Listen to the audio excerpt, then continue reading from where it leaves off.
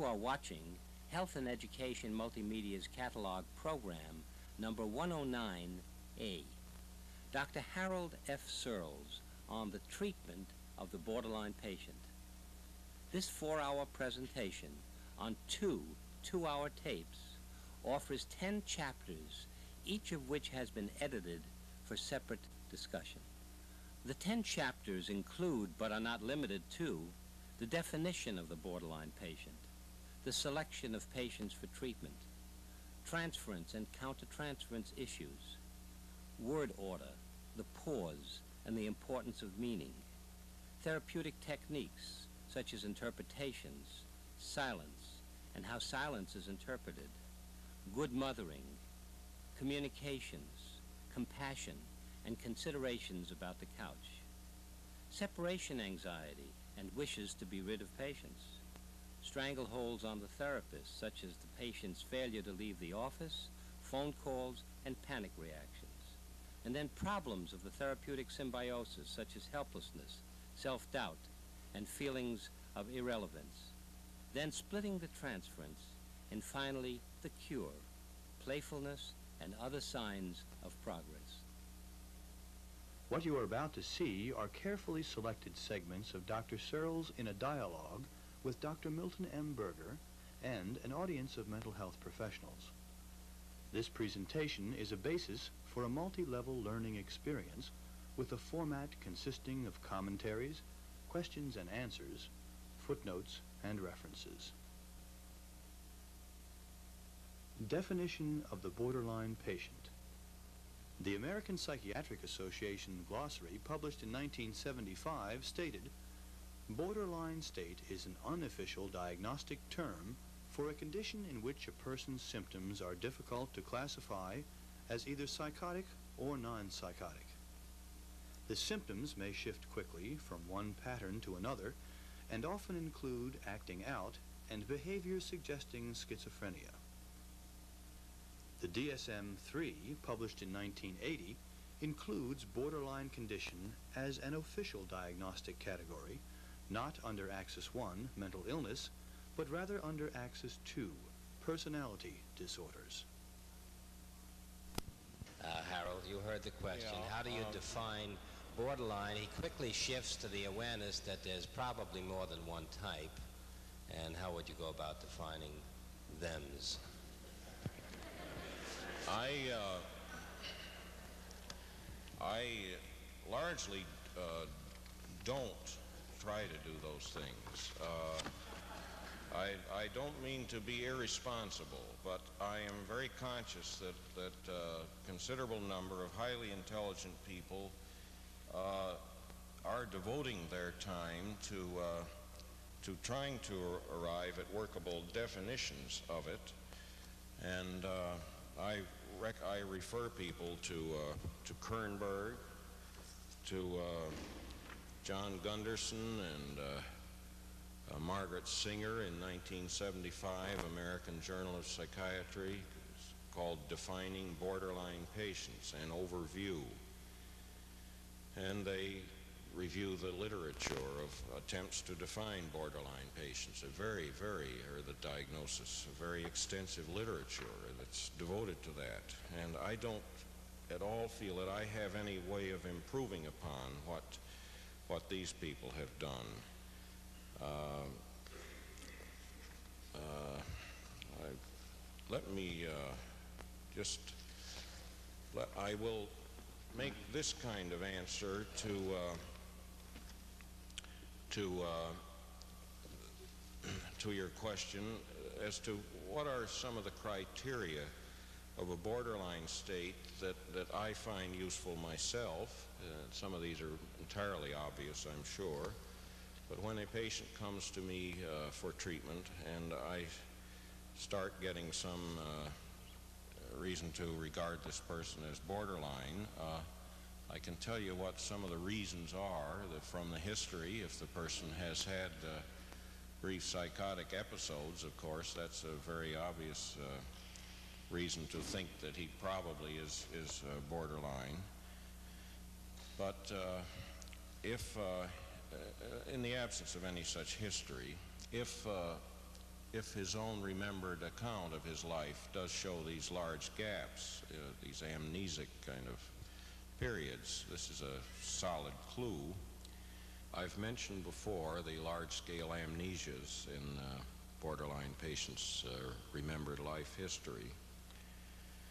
And it seems to me that this kind of thing is uh, dealt with best in the context of the uh, history of the treatment.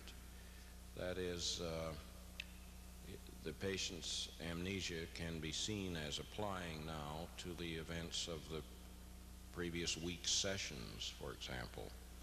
And the amnesias are resolved in terms of an increasingly good uh, memory of what has been going on in the work. And in this, uh, this setting, you can come to see where the patient's amnesia is serving defensive purposes as a way of warding off uh, feelings of hurt or unusually great anxiety or rage or whatever. Uh, and uh, I've found it of interest as to when, in the course of a session with any one of these persons, as at what point I will be remembered, reminded of something from the previous session. And I think it, it's just one of the innumerable little things that would make interesting research studies, really, for the therapist to try to notice at what point in the course of a session does something from the previous one occur to him. Maybe imaginably nothing will throughout the session, particularly because in the work with these patients seems often so discontinuous and one session not at all readily relatable to the preceding one. But uh, more and more, as I get freer to report to patients what I'm feeling in sessions, I become relatively comfortable at saying to a patient, when you said that, or I was reminded, uh, your saying that reminded me of something from the previous session, and I will tell them what it was I was reminded of. And more often than not, this kind of association isn't only in my own mind, but potentially in his too, and it's simply one way of helping the work to become more coherent. Of course, a, a history of tumultuous kind of uh, interpersonal relations, a highly unstable uh, marriage and uh, working relationships and so on would be another uh, kind of clue. But in the interview itself, if the patient looks detached from time to time, seems to get appreciably out of contact, let us say, this is a very solid criterion and uh, the affective uh, life that's going on in the patient is a very important uh, area to focus upon in one's own mind. Uh, that is, as to whether you sense underlying, rapidly changing, intense emotions that change suddenly from, from uh, positive to, to negative, or another aspect about the emotionality. Uh, a lot of borderline patients don't show this relatively accessible splitting and uh, of, uh, of affect, but they show instead a marked uh, inscrutability, a, a markedly enigmatic quality, so that they say things that you feel must be loaded with affective meaning because of the content of the things but you're completely unable to discern what are the patient's feelings about this. And uh, that, if you go ahead and work with a patient over the course of years, that can be one of the most uh, difficult aspects of the work, the maddening, maddeningly enigmatic uh, affective life of the patient.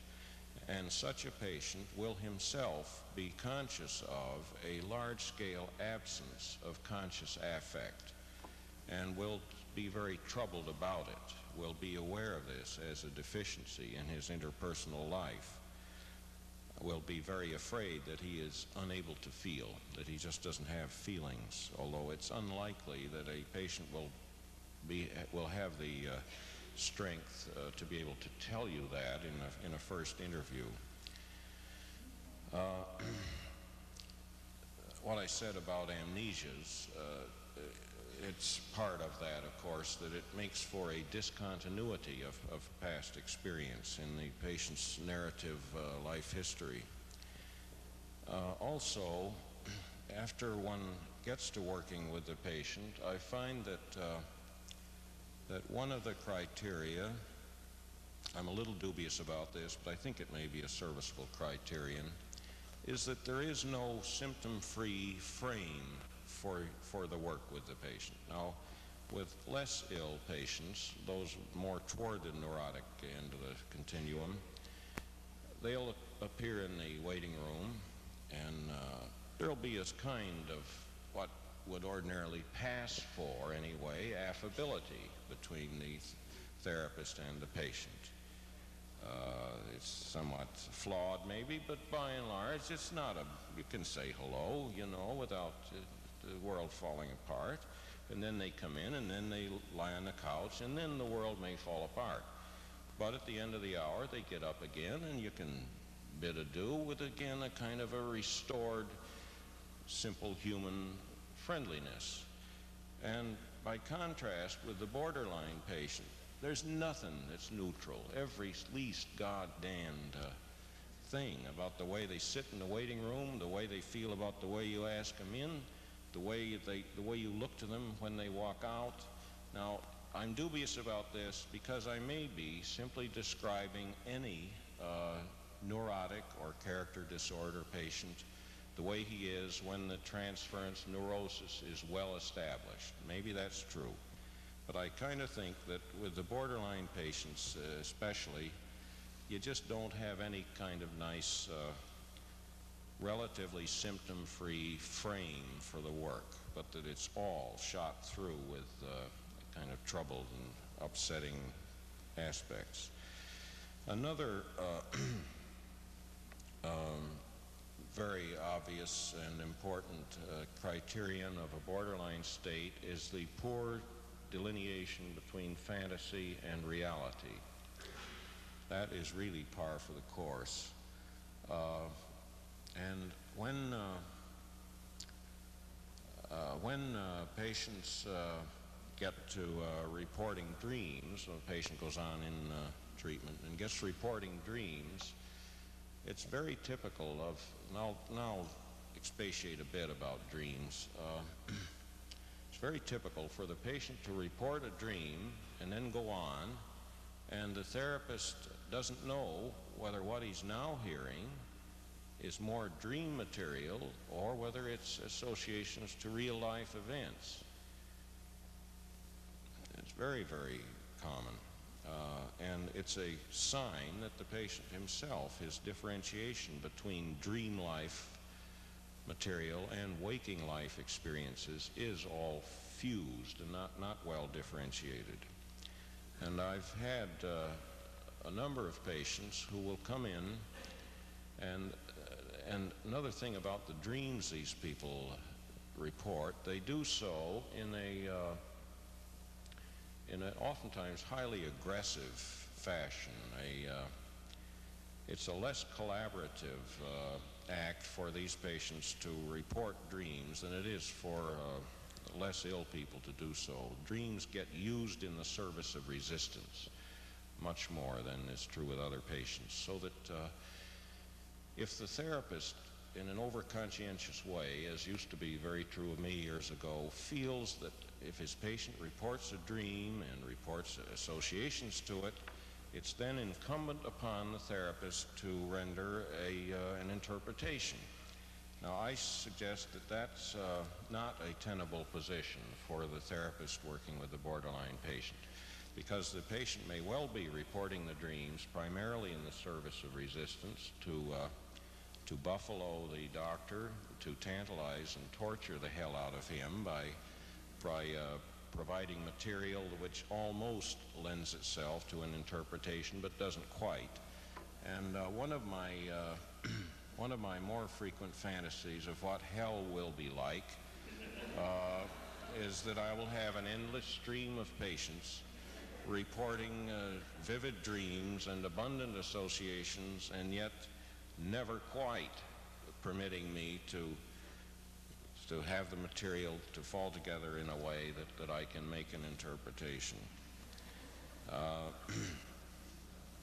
uh, one of my patients helped me to uh, realize something of what that's about. It's, it's, it's not only the sadomasochism, which is a very prominent aspect of the work with these people, but it it's goes back to the, uh, the matter of uh, the small child's not yet having uh, come to experience the mother as a separate person.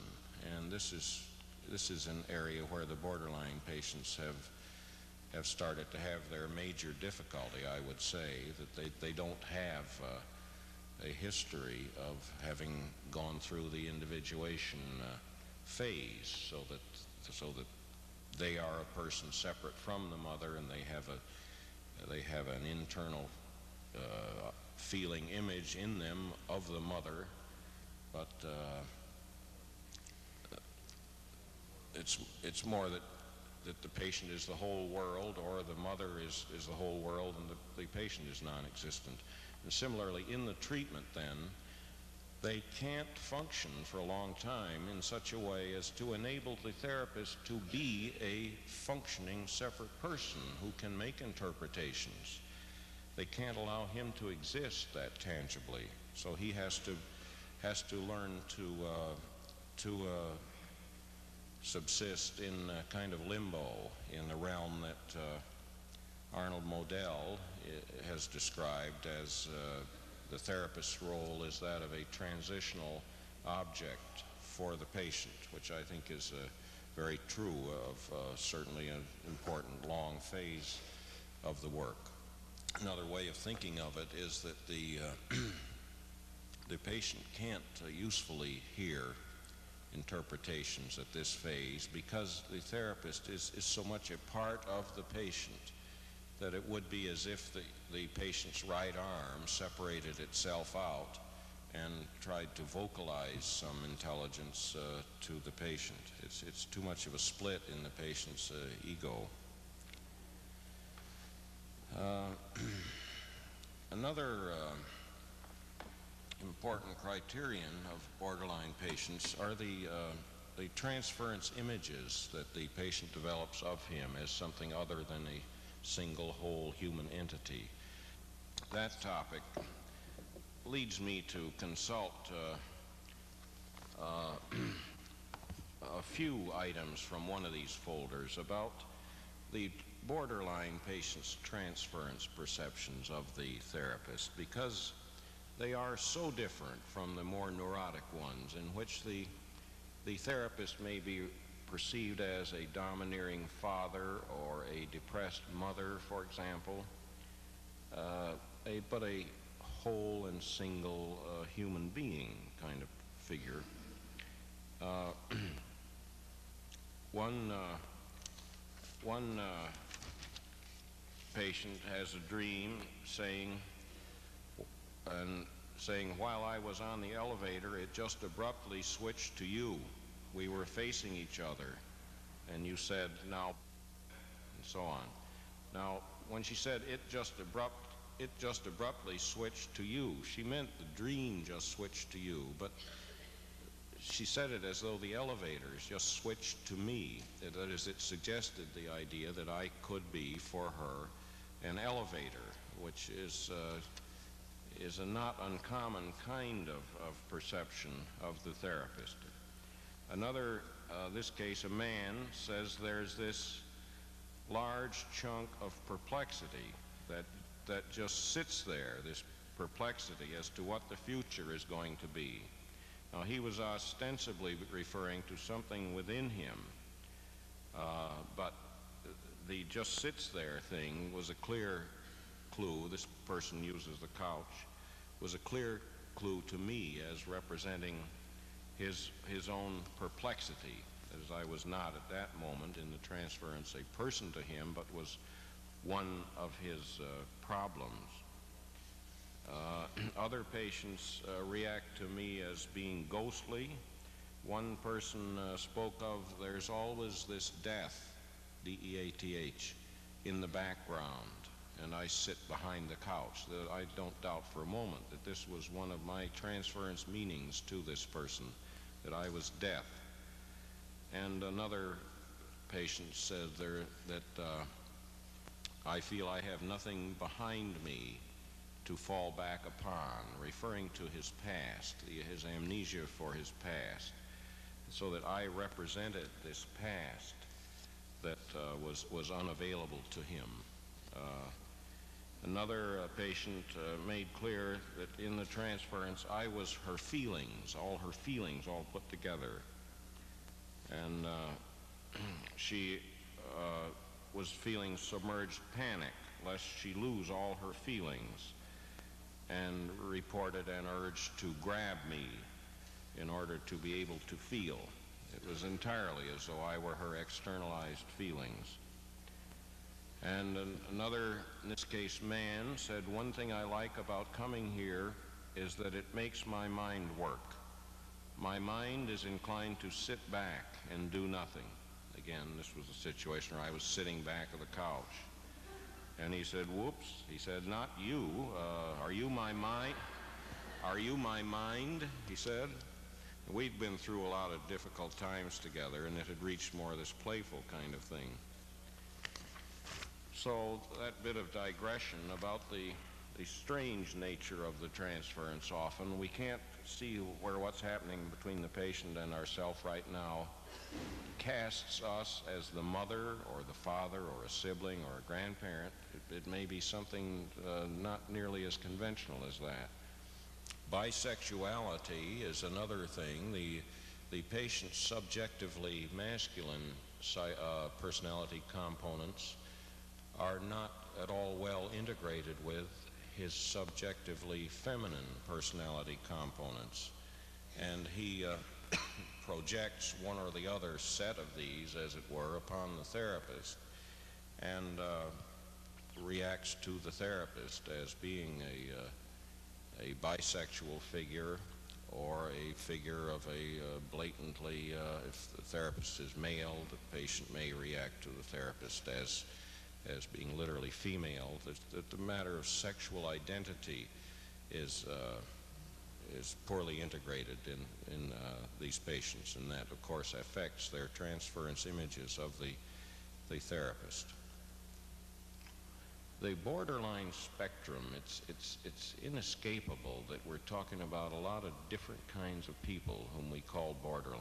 I, I call borderline a patient whose affect changes perceptibly uh, in with intensity from loving to hateful like one man who said I can't tell you how much I love you or how much of a shit I think you are and said it said it uh, really uh, I can't reproduce the way he said it the the glowing love that came through the first part of the sentence and the the really hostile detestation that came through in the second part of the sentence uh, he was borderline. There are other reasons why I regard him as so, but that's a glimpse of his borderline state. Now, on the other hand, there's a very different kind of patient who I have worked with for years, years ago, who showed year after year no discernible affect except a kind of grinding rage.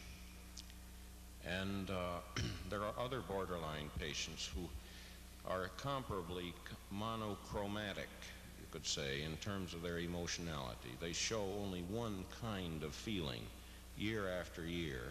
And as the years go on, if the treatment is working reasonably well, the therapist can come to see that this one kind of conscious affect is serving as a defense against underlying, nascent, not yet well delineated kinds of affect, such as grief, sorrow, fondness, uh, tenderness, all kinds of feelings, but still defended against by the, the rage. Symptoms of the borderline condition are difficult to enumerate as they may shift quickly from one pattern to another. In summary, then, here is a list of commonly observed characteristics of the borderline state drawn from Dr. Searle's rich and thoughtful experience. A history of brief psychotic episodes. Large amnesic gaps in life history. Tumultuous and highly unstable relationships. Periods of detachment during interviews. Sudden and dramatic affect changes from positive to negative. Maddeningly enigmatic affect life. Concerns about the inability to express emotion. Discontinuity in remembered life history. Lack of any symptom-free moments. Poor delineation between fantasy and reality. Dream reporting in the service of resistance. Difficulty in seeing the therapist as a separate person. Unusual non-human transference images. And poor integration of sexual identity. Selecting patients for treatment, with emphasis on those patients who might become psychotic or suicidal. One such consideration, which may interfere with proper preselection, has to do with countertransference resistance. The first item we had was the issue of the patient who was typically misdiagnosed as neurotic for years and the reasons for the failure of the, by the therapist or therapist to detect the borderline state early and what is the need of the therapist to see the patient that way and then how does that interfere with the diagnosis which can then lead to a more curative process.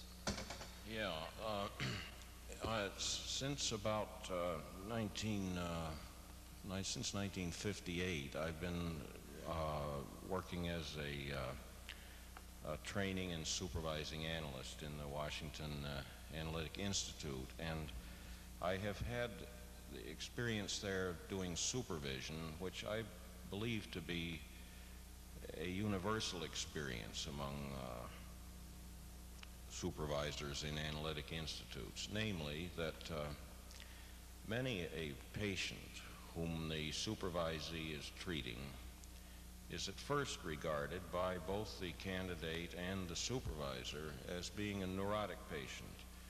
And only after a, maybe a year or so uh, do both the candidate and the supervisor kind of reluctantly face the, by now, accumulating evidence that the patient is borderline. Uh, now, I think we, I at least have seen this happen so many times that I'm getting a little quicker to discern the evidences of borderline uh, state uh, early in the, the, candidate's uh, treatment of his patient. But why the, the pretty characteristic delay in recognition of that. Uh, one thing is that the borderline patient is able to maintain relatively neurotic style defenses until the transference has heated up, as it were, through the four time a week or so thing, month after month, that the uh, healthier defenses get eroded through and the patient's underlying uh, difficulties with individuation and his uh, underlying defenses of splitting and denial and so on become more evident. A second factor is that uh, the therapist uh, has to face his own feelings of uh, disillusionment about the patient, the disillusionment at seeing that the patient is more ill than, than he had thought. And that uh, gets into the matter of how much analysis the therapist has had of his own borderline aspects.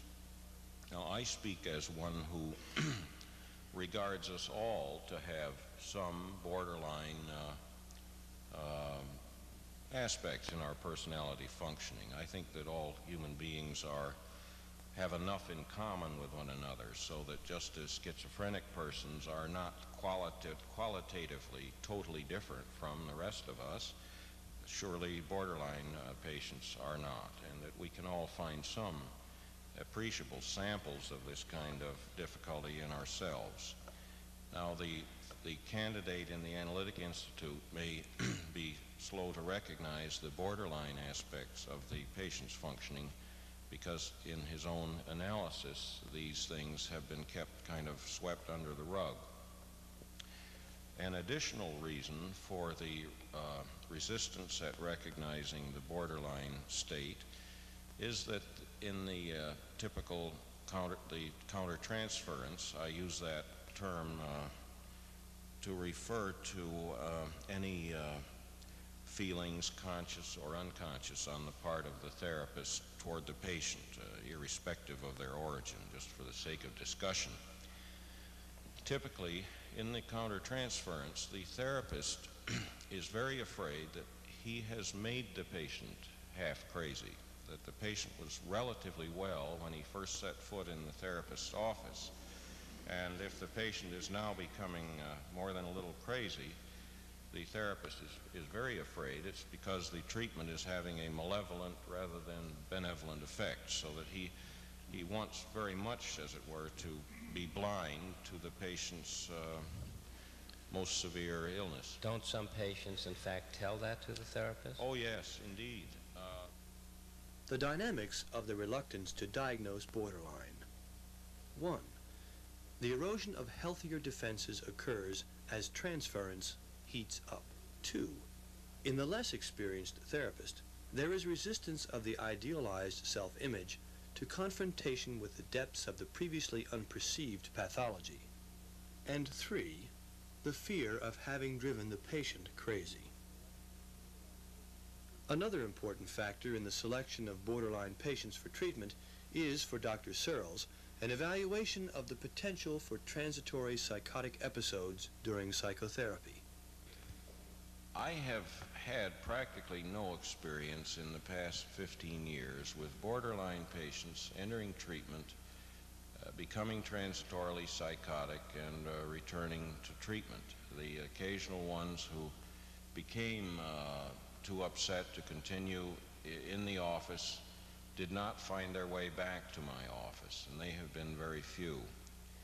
Now, one reason for the scarcity of experience in that realm on my part is that I have really made quite deliberate and careful efforts to avoid starting to work with patients who were very apt to have to go into the hospital from time to time.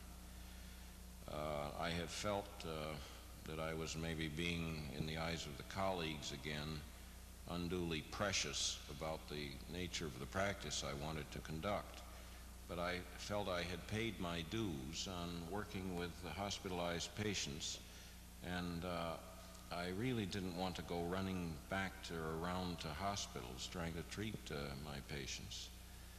And uh, And does that mean you have screened out people who have been hospitalized at least one time as a generality? true, that's right. I haven't screened them totally out, but if they've been hospitalized in recent years, the past few years, I would tend to avoid starting to work with them. If they were hospitalized 10 years ago or so, no. But uh, in recent years, I'd be uh, kind of leery. Yes, I would. But I have, I've had some, I have had some experiences that are really strange with patients who uh, have come to me for treatment. They've I've, I'm listed in the yellow pages now under psychiatrists. I guess they, you know, they permit you to do a certain amount of advertising now, at least in the Washington area, that they didn't used to do, and I guess most psychiatrists now do ask that their name be put there. So I get an occasional patient who comes in to see me because I am only a block away. And uh, that does me such narcissistic uh, damage that I really, I'm really not a very affable guy under those circumstances. And uh, I've had some amusing times. Uh, Another important factor in the selection of borderline patients for treatment is the assessment by the therapist of subjective strength and capacity to tolerate the extreme stress of repeated suicidal threats commonly made by borderline patients. Again, it's partly a matter of patient selection. I, if a patient came to me for an initial interview and gave a history of let's say, several serious suicidal attempts, including ones in recent years, I would say pass. I, I would not. I would not take it on.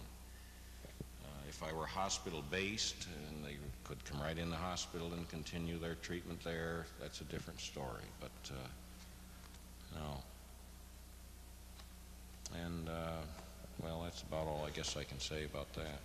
Well, there is a word in there of, uh, of wisdom, it seems, and caution to those who, because of economics or other reasons, automatically believe that, or omnipotence, believe they should take on everybody who comes to them and really don't adequately select in terms of their own awareness of self in relationship with that person. Uh, yes, this gentleman here. What would I tell such a patient? Whom you didn't accept.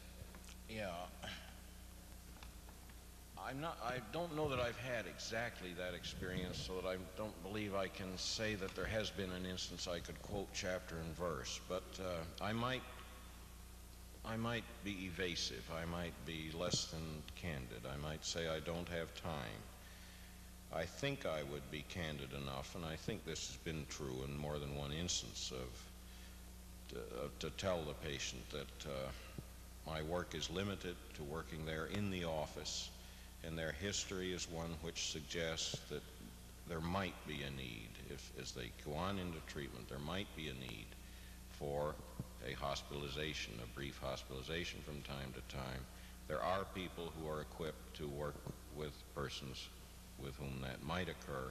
I am not one of those people. I wouldn't. Uh, I wouldn't do it. But I have I've had some I have had some experiences that are really strange with patients. Who, one uh, guy appears in the waiting room with dark glasses and a tape recorder, and uh, we start off. We start off. He's he's clearly borderline as hell, if not considerably south of the border, and he starts. Uh, he starts asking me, he starts asking me a few questions, I don't know, designed, to, I guess, to get me to state my professional credentials. And I said to this guy, I'm not your man. And he said, You're not my man? And I said, No, I'm not your man. And uh, this all within five minutes. And uh, I don't charge this, such a poor devil who it doesn't go with at all. And I offer to uh, find uh, other people for him to see, but he had other names, so he didn't need any. But that was one of the strangest damned experiences. Uh, it, it, was obvious that we both had some kind of fantasies going on, that uh, it wasn't only sexual in nature, that I was telling him I wasn't his man, but there was something about the Royal Canadian Mounted Police mixed up in this somewhere that that he was uh, I was reacting to him as if he were a, a Mountie, and it was completely which which does which does unfortunately get back to sex again. But it it really was very very strange situation. In this presentation, Dr. Searles emphasizes 1. Often on the part of the therapist, there is reluctance to diagnose as borderline a patient who can look so healthy and be so well spoken. 2. A sensitive diagnostic assessment of the patient's psychodynamics as well as the nature and strength of the patient's assets is necessary to adequately select patients with whom you can and wish to work. 3. The heating up of the transference erodes what initially seemed to be the patient's healthier defenses. This development is often confusing and threatening to the therapist who is unprepared for such a likelihood. 4. In selecting borderline patients for treatment, it is important to assess A.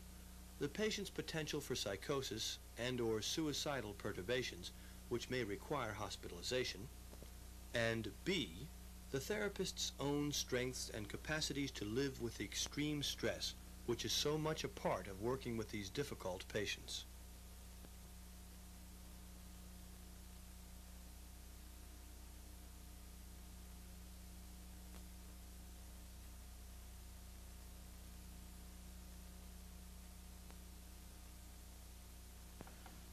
The, uh, the of my approach is so much on an examination of what is happening between the patient and the therapist. There, it is so much on the exploration of the transference that I must say that I find it uh, extremely difficult to, to know what to suggest to someone, how to use my work in a way which does not focus on uh, the relationship between the patient and the therapist because that's really what my work is. Now, if you're uh, if you're a person who has not yet had any personal analysis um, and is doing psychotherapy with the patient, I think that uh, you could at least be uh, encouraged to notice to the extent that you are presently able,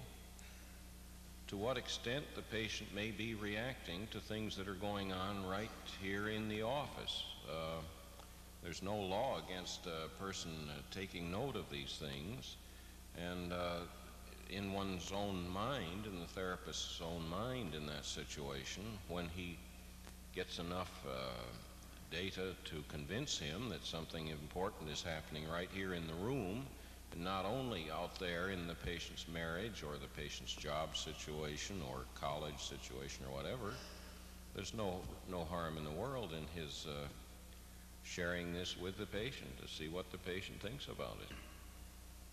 But uh, in seeing the patient in my office, uh, I am nonetheless more active than many people are. I'm more active than I used to be 20 years ago. Uh, I do really a fair amount of telling patients what I'm feeling and fantasies I have. Uh, particularly with the borderline patients, I, I do tend to share that kind of material. And uh, what is the purpose in doing it? Well, the purpose is, is one of treating it as shared data as to what's going on in the patient.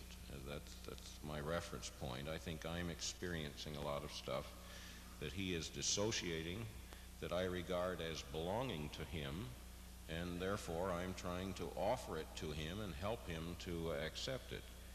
And I'm also trying to use myself as a model of somebody who can uh, speak of these matters, who doesn't have to, uh, to hide away from them.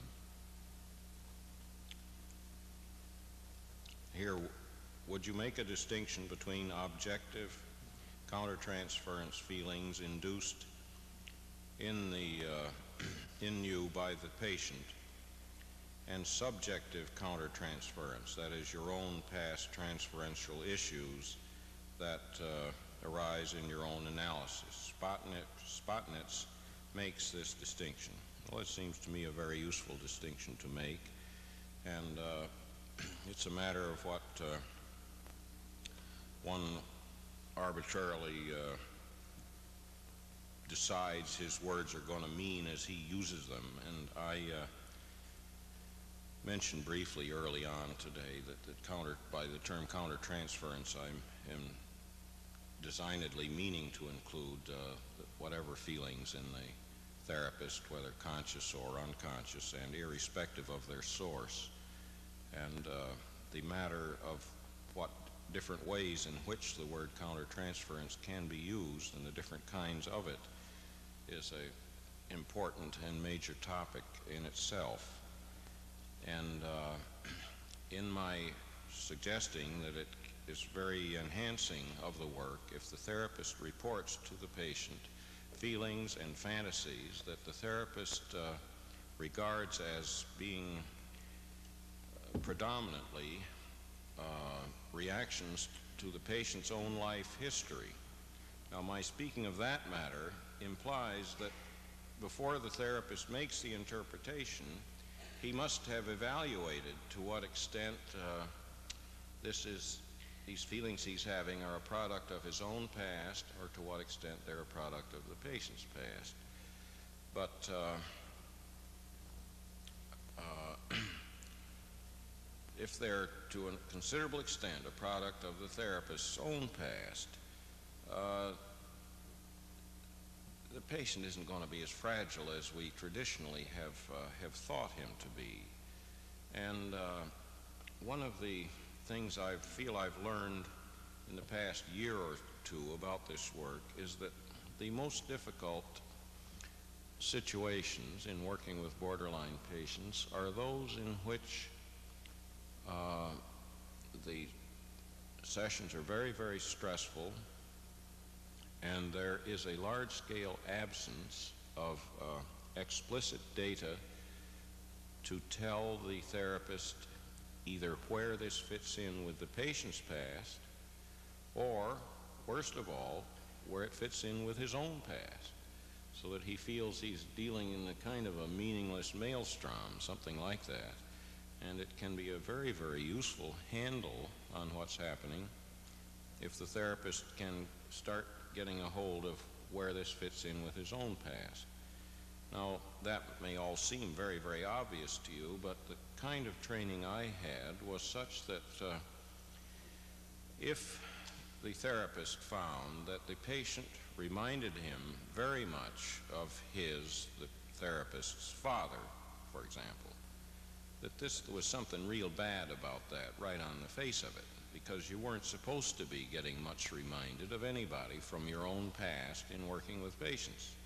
Now, maybe I'm overstating it, but I don't think so. I think that's a pretty fair statement that, uh, for example, one prominent analyst many years ago, whom I scarcely knew at all personally, but was very, very highly regarded, said that if a, an analyst had a dream of his patient, the analyst's countertransference was in such a bad state that he should stop working with the patient. Now, that's the kind of thing I'm referring to. Sometimes, in the stress of doing the work, the therapist unknowingly pressures for confirmation of his own goodness. I can say, as regards the countertransference, the stresses of doing this kind of work, that uh, that one of the most difficult things, seeing uh, one borderline patient after another, maybe in the course of a day, a number of them maybe, is uh, the tantalization that I've touched upon before, that the, the therapist gets so little confirmation of his own, not only goodness as a human being, but of his own uh, effectiveness in his professional work so that he, get, he becomes very hungry for confirmation and, and tends to put a great deal of pressure that he isn't aware of putting upon the patient to supply him with enough data so that he can make uh, effective interpretations. And if, if such a therapist then gets into supervision, it's often quite, uh, quite instructive to him that to see the ways in which the treatment situation, which he himself has felt to be a very demanding one, is also one in which he is making tremendous and really excessive demands upon the patient to provide him with confirmation of his own goodness. It is important for the therapist to look beyond the here and now of the session to see how it fits with the patient's life history and to note the particular nature of the transference perceptions of the borderline patient. Yeah, she said a great deal. It's hard to summarize and do justice to it, but uh, she suggested that uh, if there has been a considerable aspect of a new kind of relationship built up, new in the patient's life, one in which the therapist has been uh, more candid than those in the patient's past and uh, has shared more with the patient than those in the patient's past did, and if the therapist, so to speak, has earned the patient's trust pretty much, and then the patient reverts to some old style negative transference perceptions of the therapist, she suggested that it might be time to call a halt, as it were, to those by confronting the patient with how is it that in light of this backlog of uh, collaborative experience they've had with one another, he's now going back to the old negative kind of uh, uh, perceptions of the therapist. Uh, there, one of the, what she said made a great deal of sense to me. That the uh, surely the therapist needn't uh, go on masochistically simply enduring the patient's negative uh, uh, transference to him and just uh, year after year, that it will not wear itself out. And uh, it isn't a useful thing to the patient if the therapist is, uh, is deriving a lot of masochistic gratification from this and kind of private feelings of moral superiority for enduring this uh, suffering. Uh, she brought in one thing that, one of the things that, uh, sh- that uh, she brought in that was uh, very useful to be reminded of is that is simply the transference aspect, the connection between what is happening in the here and now. It needs always to be thought of in terms of where may this fit into the patient's life history. In other words, what may be the nature of the transference right now? Who, who am I being to the patient right now?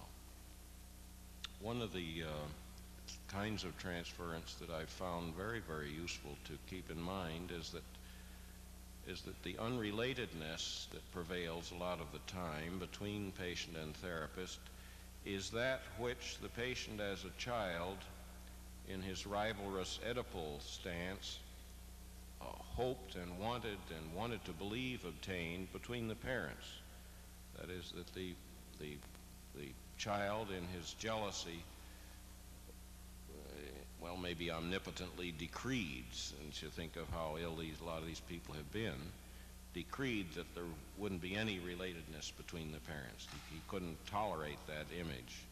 And then in, he gets into treatment himself, and without meaning to, uh, promotes the kind of unrelatedness in the transference that he, he would like to think held sway between his parents. Harold, on that issue, as the patient moves you from human to non-human or less than human, or in this situation of experiencing you as the elevator, uh, then would there be an implication that perhaps that the human connection and relationship had become threatening, and so that as with the schizophrenic patient who moves human beings into the non-human, that uh, that that process is in action at that time. I think that's be- very, very likely to be the case. It's, um, I think that there's, there's an also, a, a, it needs to be kept in mind that that movement to the non-human can be a uh, movement into a deeper uh, dependency. That is, that uh, it's as if I were the womb in which the patient uh, dwells. And uh, a lot of the uh, transference in work with borderline patients uh, is in this realm that they're not two separate persons, but that, that one is contained within the other. I've tried to write something about that in papers on autism and symbiosis. And to write of the uh, need for the therapist to let the patient be the therapist's whole world in the context of the session. That is, the therapist living in the, in the womb comprised of the patient, as it were. that that's that that kind of thing in some patients' treatment, patients' treatment needs to happen in order that the patient can then identify with the therapist who is able, the therapist who is able to accept such a very early degree of dependency toward the patient. So these things can, what can seem movement away from the human, uh, are sometimes become disclosed as movement into the very, very early human that we usually are defended against. Dr. Searles responds to a question about a unique transference countertransference situation. Now, here's a young lady who uh, puts in a reminder here about the current therapeutic uh, situation of a pregnant therapist and a pregnant borderline client who is due th- just three weeks after the therapist's due date. And, uh, and uh, the question is uh, something about the transference and countertransference aspects of this. Now, in endeavoring to make any kind of answer to this, I, I get thinking I first have to make some kind of accommodation to my birth envy that the male therapist could well acknowledge at the outset his envy of, of the female therapist who is in this uh, situation. Uh, I,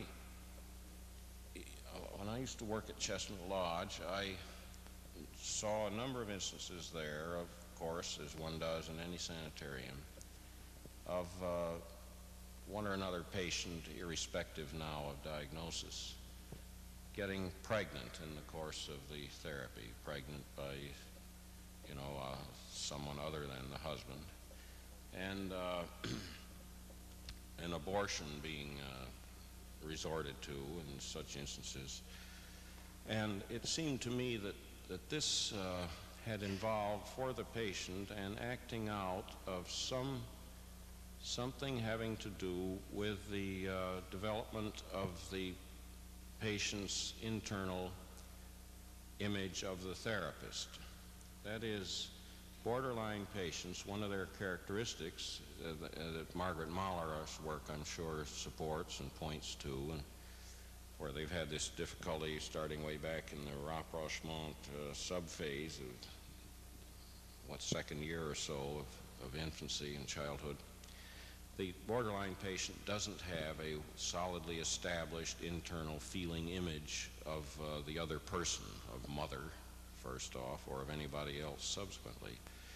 And my understanding of it is that in the treatment, uh, the patient does tend to de- develop, so, and I've seen, of course, it happen that the patient develops an internal image of the therapist so that between sessions it no longer is as though the therapist has ceased to exist both in the patient's outer world and within the patient's head, but now the patient can at will conjure up a feeling laden mental image of her or his therapist. Now, if the patient is a woman and gets uh, acts out in a way that leads to pregnancy and uh, abortion, I think that's very likely to be saying something about the patient's unconscious wish to rid herself of this partially developed uh, equivalent, equivalent to a fetus, partially developed internal feeling image of the therapist, to get rid of that and to restore the omnipotent position in which the patient is the only existing one and the outer world is nothing but shadows. So that's one of the thoughts I had about this uh, question. Uh, another, another one that uh, I would think must be obtaining in the therapist's work with this particular patient is a great deal of, uh, of the patient's uh, jealousy of the uh, therapist's fetus and the patient's wish to be that fetus uh, I would think that there, it would be very uh, much to the point if the therapist can be aware of wishes to be the fetus in the uh, womb of the patient, too. Because uh, hopefully the treatment may have progressed to the point where the patient has uh, appreciable real healthy maternal qualities and can be reacted to by the therapist as, as a mother whom one would like to be born to. Now, if, if that is by no means the case, if the patient seems so devoid of maternal qualities, then it has, of course, to be wondered at uh, what, how must the patient be feeling about having this baby? How must she not be feeling then that the therapist is so vastly better a mother than she is, and the therapist deserves to have a baby, and she, the patient, does not have. But one could speculate uh, a good deal uh, about that. And that's really about all I could do th- with it any further. Harold, on that issue, you've opened up the issue of the patient as potential therapist for the therapist. And here you speak of that possibility if this patient was seen as healthy enough by the therapist, Seen as experienced as healthy enough by the therapist, so that the therapist could envision Yeah. the possibility of being Yeah. born with Right. her as her mother. And uh, that would be Right. one type of situation for the Yeah. patient to be seen and experienced as therapist. Did you want to elaborate on other situations in that vein? Mm, I think not. I, I, I just would add this one other thought about that particular situation. Uh, the, the patient, uh, I would think, must have a great deal of rivalrous feeling toward the, the therapist's baby, as in, uh, and a great deal of wish to be rid of both the, uh, the uh, babies in utero, because both of them must represent real life threats to the continuity of the therapeutic relationship. Now, that's only stating the obvious, but I, I'm kind of uh, struck by how I was warding off the obvious, really. The basis of Dr. Searles' work is seeking to understand the nature of the transference and the countertransference feelings stirred up by the patient during the course of the session. Work with a borderline patient presents specific characteristic problems with respect to countertransference stresses and transference perceptions. Word order, the pause, and the importance of meaning. We direct our attention to various nuances of verbal and nonverbal communication between the therapist and the patient, which allow the therapist to intuit and comprehend unconscious material being repetitively enacted by the patient in the psychotherapeutic arena. Let us join Dr. Searles in his presentation of a sequence of examples of listening with one's third therapeutic ear and other senses and centers. At this point, Dr. Searles is discussing some thoughts on word order, using examples he has gathered from his own patient interviews. but I'll give you a few from my patients. Here's a patient who said uh, something she had just said, and she went on that having said that, she said that makes me th- that makes me think of going to Sears Roebuck with my father as a youngster. Now he, this woman obviously meant that uh, she was reminded of going as a youngster to uh, Sears and Roebuck with her father. That was clear enough. But the, the sequence of the words was, with my father as a youngster. You see, so it, it, it brought through an image of the father as a youngster, as an emotional youngster at the time. Uh, no great denouement, but a, a completely different dimension of things than the patient had been intending to bring out. And it is certainly a, general principle that the more ill your patient is, the surer you can be that very early in his life there was a reversal of things in the family whereby the child now was installed as the emotional parent very, very early on. And the chronological father, for example, indeed was emotionally a youngster. Uh, oh dear, let's see now. Well, I'll just give one other example of this kind of thing.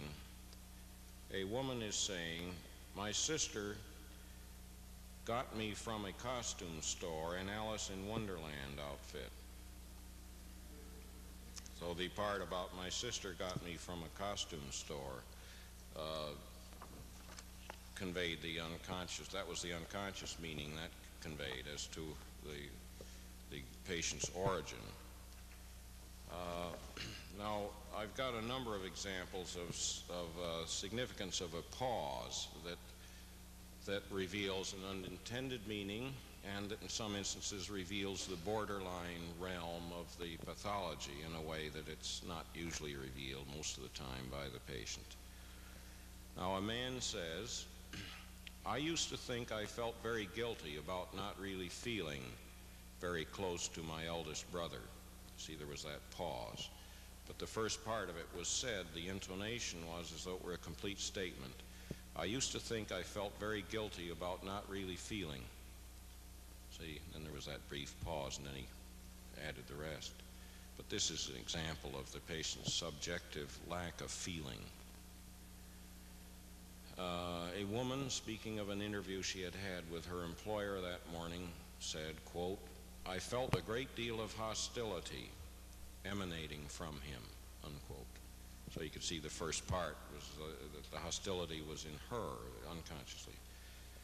Uh, a man says concerning his two young sons, quote, I'm determined that my sons aren't going to grow up the way I grew up, unquote.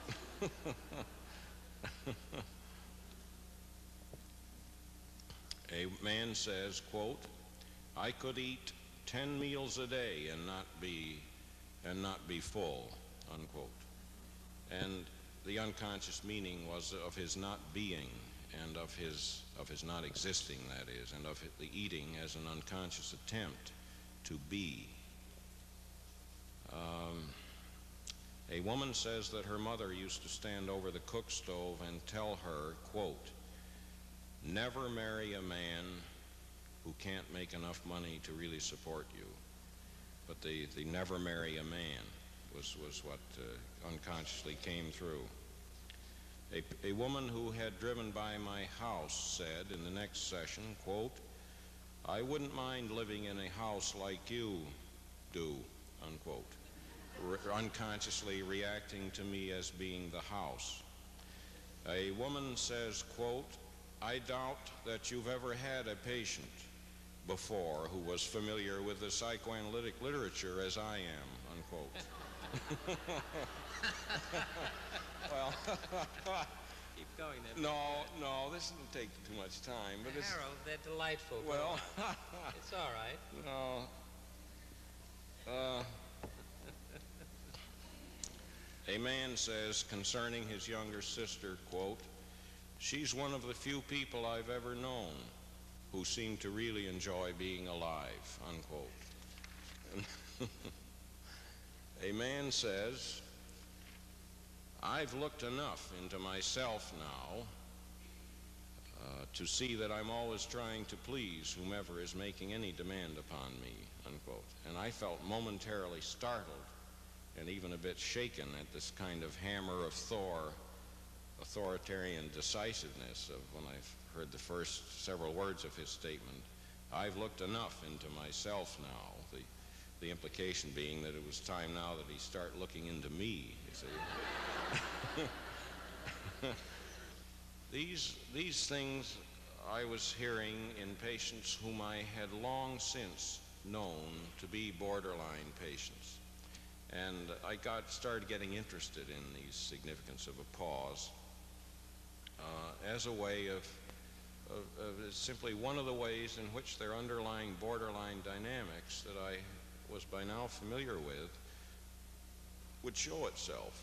It's fascinating to see in how many ways this, this leaks out if you start noticing the just these, these simple pauses that seem so innocuous.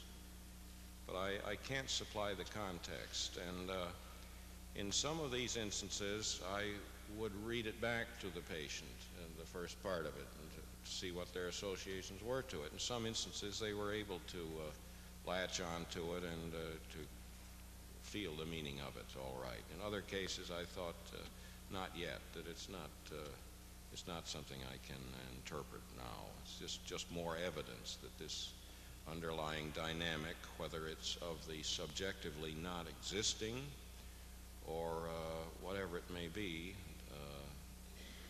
is, is present, but not to be interpreted yet.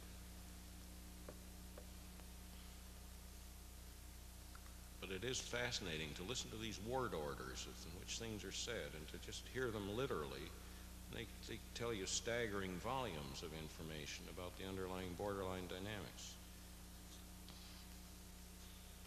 Groucho Marx uh, had one joke, uh, I don't like my children to cross the railroad tracks.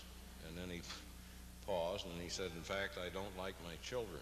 You know, but it, I'm sure a lot of comedians use this kind of stuff. Uh, a number of my patients who are uh, uh, psychoanalytic candidates or therapists in related uh, fields, psychology and social work, a number of people have uh, recommended that I read uh, Sandor Ferenczi's paper, The Confusion of Tongues Between Child and Adult. And I believe, and I never have gotten to read the darn paper, but I believe that it, that, that paper has precisely to do with the very important uh, question which this uh, gentleman here just raised, namely about what differing, different meanings may words have to children from what the, the same words have for the adult. I have had some personal experience, though, that, uh, that has bearing here. In working with schizophrenic patients, I started realizing how fraught with different meanings a word is, meaning, meanings for the patient as compared with the conscious meanings it had for me.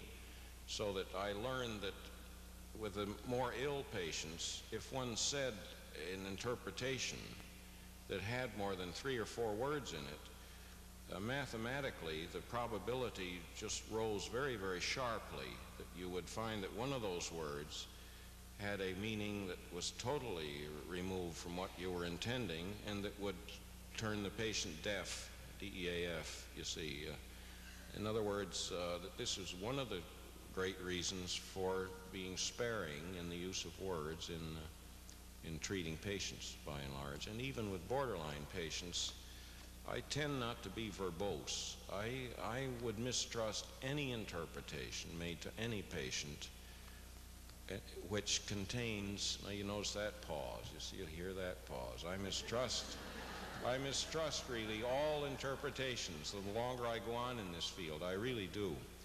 But I, I had meant to say that I would mistrust any interpretation that contains two or three dozen words. If, if you can be brief, it may be timely to interpret, but if, if the interpretation you have in mind making can't be made in a, in a couple of sentences or so, it's very questionable whether it's uh, time to make it yet. The borderline patient seen in psychotherapy is often highly intelligent and preoccupied with the search for the answers as to why. The search for meaning, which is something we all are interested in and are highly trained in, can be a, a remorseless kind of thing. And uh, uh, in a child, let's say uh, the adult borderline patient, when he was a child, he had too early to be concerned with the meaning of things. The atmosphere he lived in had so much danger in it various kinds that he had to develop wariness and a concern about what was the meaning of all kinds of signs and symbols and events. So that in the therapy, the therapist's attempt to ascertain the meaning of phenomena tends to have an inherently uh, negative connotation for these people.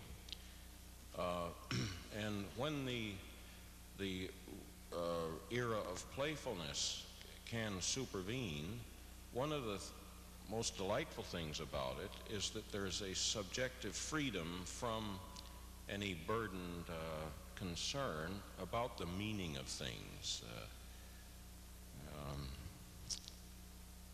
the matter of meaning, it's, it's in the paranoid schizophrenic patient where you see in the extreme form the concern about what is the meaning of things and uh, the whole the whole emphasis on meaning and the, the search for it uh, tends to have a, a really quite negative uh, connotation for a, a, lot of patients. I, I, don't, of course, mean that the therapist should uh, should entirely put behind him any any concern about meaning. Of course, he cannot, but uh, but I think it is it is well if we can grasp the idea that a baby and young child uh, is very fortunate if he has had the experience of living in a home where uh, there was enough assurance of love and caring so that he didn't have to become excessively wary and watchful and and weighing of the significances, the meanings of things. For Dr. Searles, word order, tone, pauses, hesitancies, speech dysrhythmias, and other communication deviancies, as well as concurrent nonverbal behavior, are important clues to what's going on unconsciously in the patient. In his book on countertransference, Dr. Searles says, quote, When one is well attuned to a patient's richly creative inner life, of which he himself is largely unaware, one drinks deeply of a godlike subjective omniscience. Listening through the overt communication to the order of words, the timing of pauses, will finally sharpen the therapist's focus on the meaning of things the patient says. Therapeutic Techniques Part 1 Interpretations, Silence, and How Silence is Interpreted. Uh, there's uh, now Kernberg has written about uh, borderline patients as uh, as being uh, as presenting a kind of instability, but it is a a really an enduring pattern nonetheless. And he describes that if they do become psychotic, the psychoses are usually relatively limited and transitory, and they go back to being kind of stably borderline. And this may be quite true, but uh, I've uh, expressed in the literature my uh, uh, finding, nonetheless, that one of the most difficult things in working with them is the, the atmosphere of suspense as to whether they will become psychotic or maybe will suicide. These are both threats that tend to be so common in the work. now, the suspense of uh, letting the suspense develop as regards the making of interpretations, uh, surely there is a very generous realm for uh, suspense being allowed to to uh, continue there uh, because if you interpret prematurely, this is the kind of thing these people have already had all too much of, really. It's, uh, I don't know that it's apt to be so terribly destructive, but uh, it, it tends to undo a lot of authentic work because it tends to impose upon the patient your own values. And uh, he needs to come more to his own insights, really. Now, as to when to withhold and when to make an interpretation, again, it's, it's next to impossible to generalize, but you can consult what your own previous experience with this patient has been. Now, many years ago, when I was starting to work in this field, I withheld across the board. I said very little to patients by and large, I would say. I was so afraid that, that, uh, that things I would say to them would be upsetting to them. And uh, I've learned to be less afraid of saying things to patients. I've, I've learned that, that they're much less fragile than I used to assume. But you can consult your own past experience with any one particular patient as to what has he done with interpretations in the past.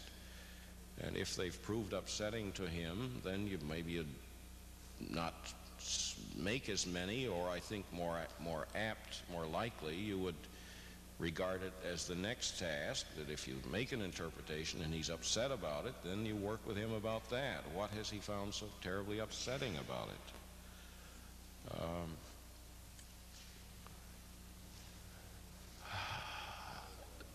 also, uh, is the patient involved in a power struggle with you that is trying to make you say something, trying to make you talk? Well, an interpretation given in that setting, unless it's an interpretation of that atmosphere itself, isn't apt to be a, a very pertinent one. And uh, that kind of atmosphere I just touched upon does hold sway a lot in the work with borderline patients. They're very, very, people very much oriented toward uh, being coercive or to feeling coerced. And it, there are people who imply that if you don't feed them, if you don't give them interpretations or support, that they may just find somebody else. Uh, but uh, there's a great deal to be said for working with these people in a spirit that uh, that this is what I do, that uh, I, I do this the best way I know how. If this isn't enough, it's a very large world. It's a very large world. There's an awful lot of therapists around. I've told more than one patient uh, bitterly that you, you kick any sizable bush in the Washington area and at least two highly trained psychotherapists will, will tumble out. And now here's someone who says, do you find Winnicott's concept of, of true and false self useful in your work? No, I do not. Uh, I don't use his concept as such. I found Winnicott very useful. I admired him a great deal. Uh, I've profited much from reading certain of his writings, but I don't happen to use this true and false self as such. Uh, I think that kind of thinking uh, does play a part in my uh, recommending of being uh, of avoiding premature interpretations insofar as may be, because uh, otherwise the therapist is imposing his values upon the patient. The patient would just be, uh, so many of these patients are as if personalities who in effect adopt the personality of the other person.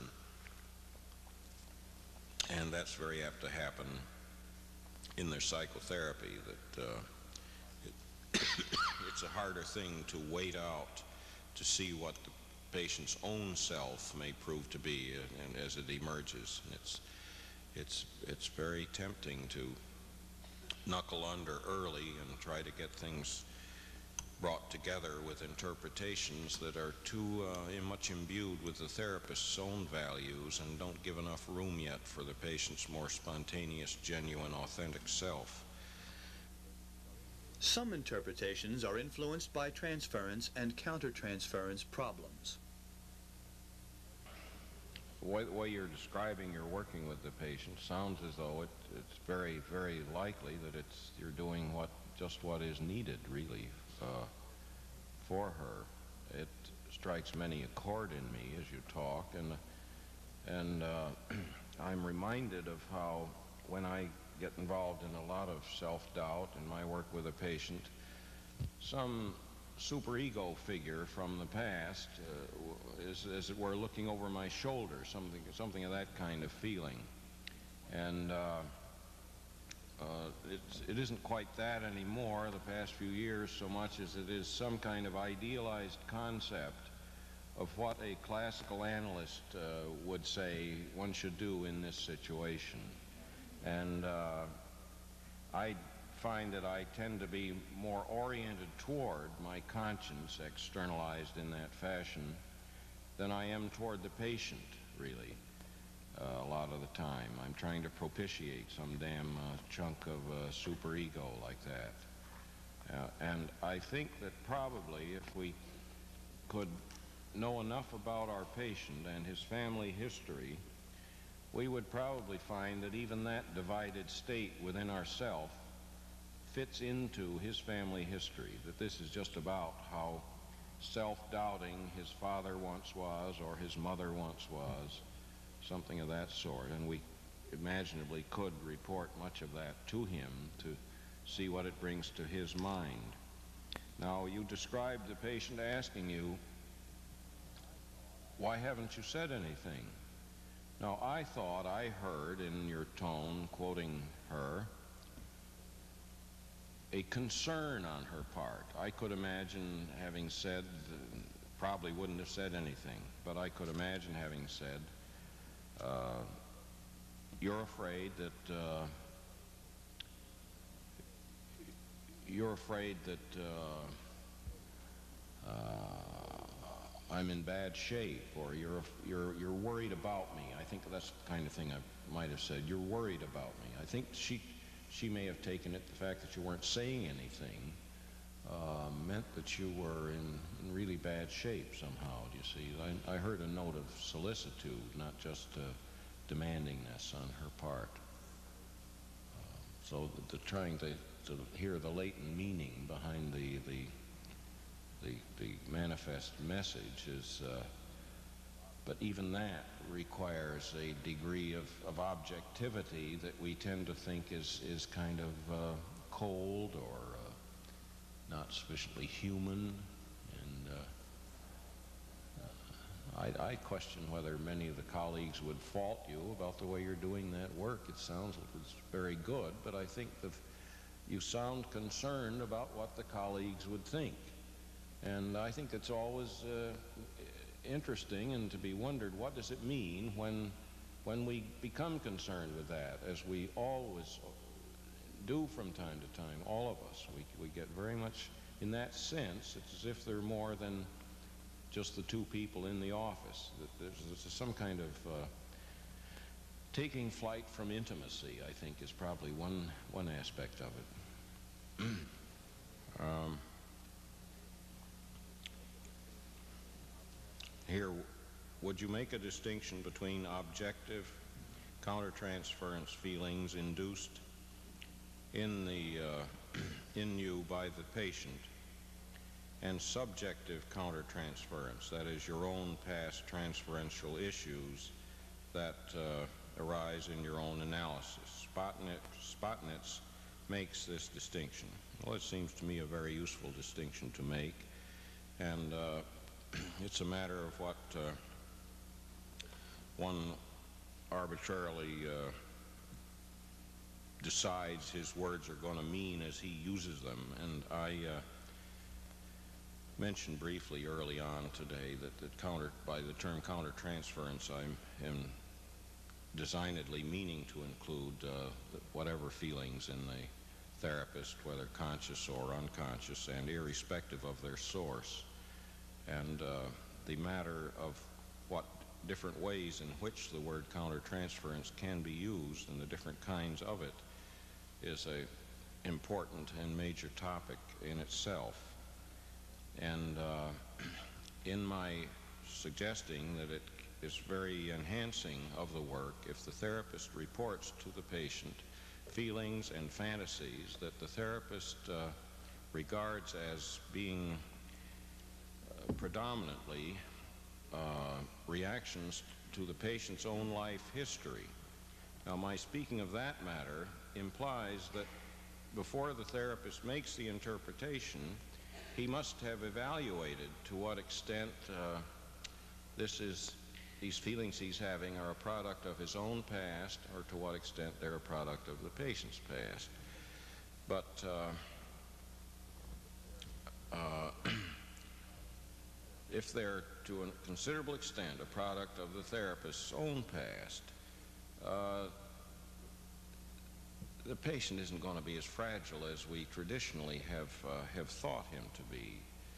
And uh, one of the things I feel I've learned in the past year or two about this work is that the most difficult situations in working with borderline patients are those in which uh, the sessions are very, very stressful, and there is a large-scale absence of uh, explicit data to tell the therapist either where this fits in with the patient's past or, worst of all, where it fits in with his own past so that he feels he's dealing in the kind of a meaningless maelstrom, something like that. And it can be a very, very useful handle on what's happening if the therapist can start getting a hold of where this fits in with his own past. Now, that may all seem very, very obvious to you, but the kind of training I had was such that uh, if the therapist found that the patient reminded him very much of his, the therapist's father, for example, that this was something real bad about that right on the face of it because you weren't supposed to be getting much reminded of anybody from your own past in working with patients. Now, maybe I'm overstating it, but I don't think so. I think that's a pretty fair statement that, uh, for example, one prominent analyst many years ago, whom I scarcely knew at all personally, but was very, very highly regarded, said that if a, an analyst had a dream of his patient, the analyst's countertransference was in such a bad state that he should stop working with the patient. Now, that's the kind of thing I'm referring to. Uh, the principle of making uh, interpretations which are not transference interpretations. That is, I think that interpretations which are not transference interpretations are pretty dubious business. Now, for example, I had a patient who had very greatly admired his father, and I made some uh, comment to him having to do with his relationship with his father. It was an in interpretative comment, but it didn't have any transference dimension in it. It didn't include any realm of what was going on right here. And this patient, who was not borderline, but the principle is uh, nonetheless valid, he said to me, when you uh, when you uh, say things like that, I feel that you're undermining my relationship with my father and giving me nothing to replace it. And I thought it was a very good point, because if, if the interpretation had included the realm of the transference, it would be a way of, of, of filling what, would, uh, what was otherwise that void.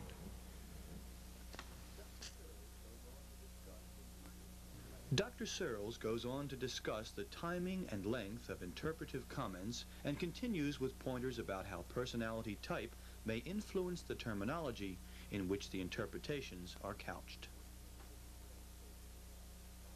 In working with schizophrenic patients, I started realizing how fraught with different meanings a word is, meaning, meanings for the patient as compared with the conscious meanings it had for me so that I learned that with the more ill patients, if one said an interpretation that had more than three or four words in it, uh, mathematically, the probability just rose very, very sharply that you would find that one of those words had a meaning that was totally removed from what you were intending and that would turn the patient deaf, D-E-A-F, you see. Uh, in other words, uh, this is one of the great reasons for being sparing in the use of words in, uh, in treating patients by and large. And even with borderline patients, I tend not to be verbose. I, I would mistrust any interpretation made to any patient uh, which contains, now you notice that pause, you see, you hear that pause. I mistrust, I mistrust really all interpretations. The longer I go on in this field, I really do. But I, I had meant to say that I would mistrust any interpretation that contains two or three dozen words.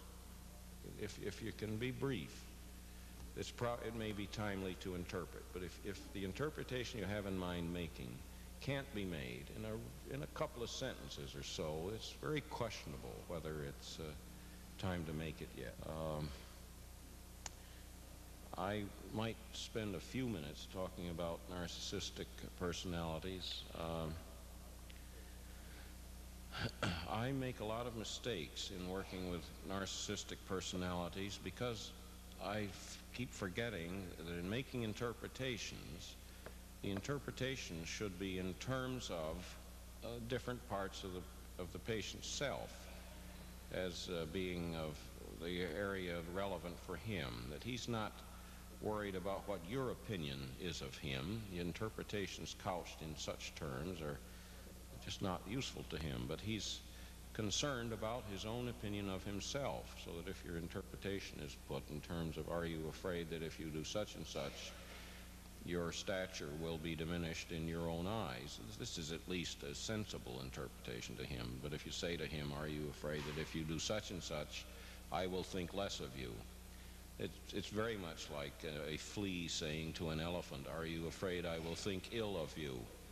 It's just, it doesn't make any sense. And I think my own, uh, my own narcissism is so abundant that I, I can't, I can't as comfortably assume this flea position and you know, I keep thinking that, that I'm important to these patients, and I'm just not yet. Not this decade, not yet, but another few years maybe, but not yet. And Silence, like making an interpretation, is an intervention.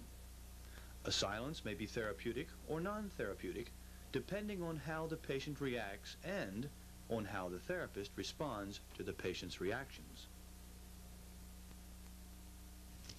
There is a uh, paper I wrote about borderline patients and the technique of working with them uh, that's in a uh, book uh, that uh, Masterson uh, edited and has an article in, and it came out just a year ago. Some of my ideas about therapeutic technique are set down in that brief paper. Now, in one of the points I made in that paper is that uh, the therapist's silence is in uh, traditional uh, teaching usually assumed to be expressive of neutrality on his part. I'm thinking of the analytic tradition now that uh, that the therapist is or analyst is depicted as uh, uh, providing a kind of lar uh, large-scale, silent, evenly hovering attentiveness. From whose point of view is that considered neutral? Yeah, it's, uh, the, the, point I was trying to make is that the patient does not experience it as neutral.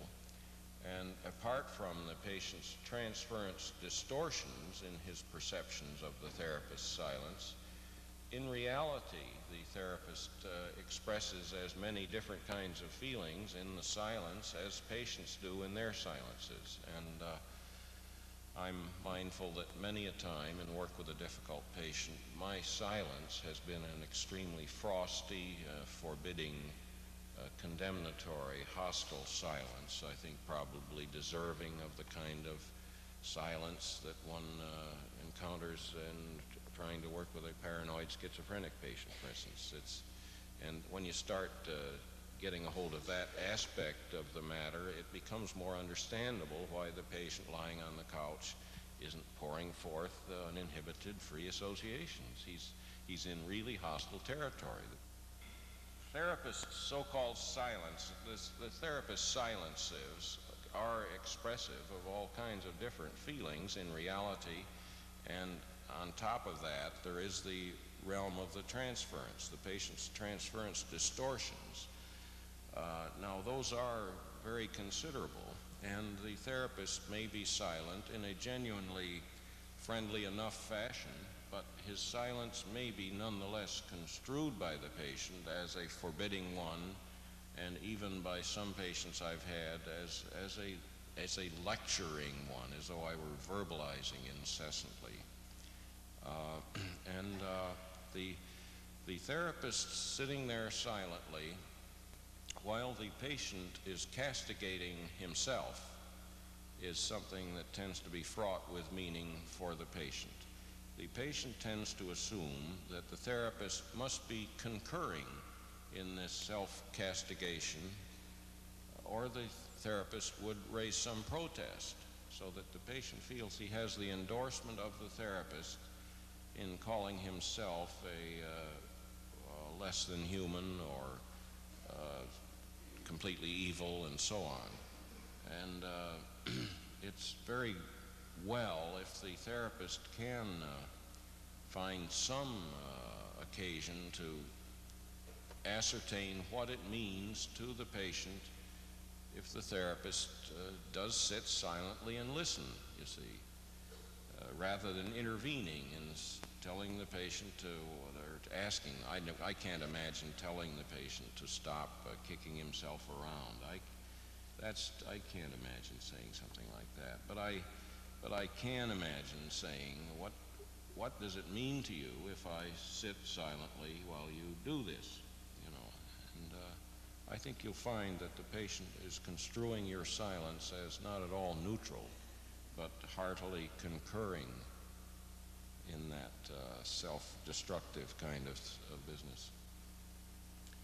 And uh, I've had patients who uh, hold the therapist so highly responsible for the uh, uh, for what is being said in the session, so that if the patient uh, gets away from the point the patient is trying to make, even though the therapist may be saying nothing, the patient may feel that the therapist, in his silence, is responsible for the subject getting changed, that the therapist should have prevented the patient from getting off the track. It, it's, it's hard to, to overemphasize how responsible uh, patients hold the therapist in, in, in what happens in the sessions. Dr. Searles was asked to comment on the emotionally depriving impact of the therapist's silence.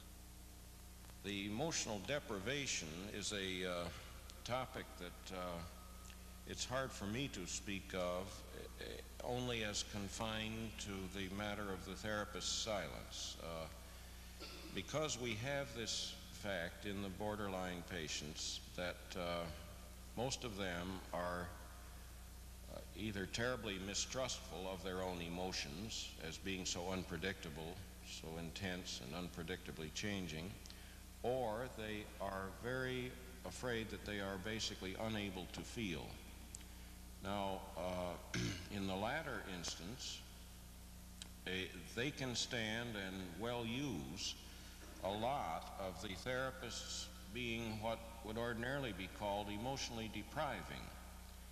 Um, because if the patient is very, very troubled as to whether he himself is able to feel, and if his therapist is at the same time very much caught up in being warmly supportive and giving, uh, it does tend to very painfully highlight the patient's feelings that he himself is incapable of this, that this is the very kind of thing he feels so painfully lacking in himself. And he is someone who is apt to get more relief than anything else from a therapist who is able to just be pretty much part of the woodwork most of the time and let the patient move more at his own pace in, in getting into this, this realm of feelings. Uh, one of the things that is most difficult about work with borderline patients is the intensity of the negative transference. I suppose it's fair to say that that's probably the most difficult uh, aspect of the work.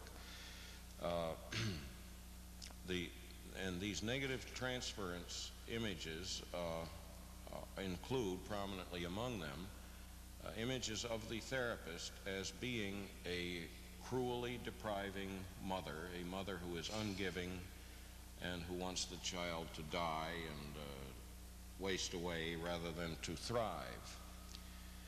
And a therapist can do a great deal of being supportive and warm and giving feedback, not primarily because the patient needs that, but primarily because he can't stand, as it were, the heat of the negative transference. And it's really no service to the patient if the therapist is having to prove to himself that uh, the patient is wrong in his perceptions of him. So I guess probably from your point of view, I would, in my work with these patients, I would probably be seen a lot of the time as pretty uh, emotionally uh, starving of my patients. I think probably that's true. Um, I, I would caution you that a silence, uh, of course, I would just more by way of reminder to you, that a silence needn't be emotionally depriving at all, that it can be the most uh, conveying of warmth and love and so on than far more than words can do. But it's indeed, uh, some kinds of silence are that. Uh, I have uh, prided myself on, uh, in some of these demonstration interviews, for example, with being able to confront the patient with things that, that the therapist and others in the earlier years of the patient's treatment haven't, uh, they've been too delicate to confront the patient with. But I have felt equally good about uh, various treatment situations I've been involved in where I saw something was uh, the case and was able to be silent, some cases for years, to let the patient come to it on his own, you know, with such help as I could provide along the way, but to, to, uh, to not, not uh, be premature in conveying this to the patient. And uh, I said that uh, at Chestnut Lodge there were a fair number of patients admitted there who were borderline and who had heard every interpretation in the book already, and their illness continued as bad as before or worse. And uh, they needed a therapist who could be silent more than the ones they had been used to having. The making of interpretations is a complex business. Dr. Searles elaborates on various aspects, including timing, influences, and commonly made errors. The following points are underscored. As much as possible, allow suspense to develop with regards to making interpretations.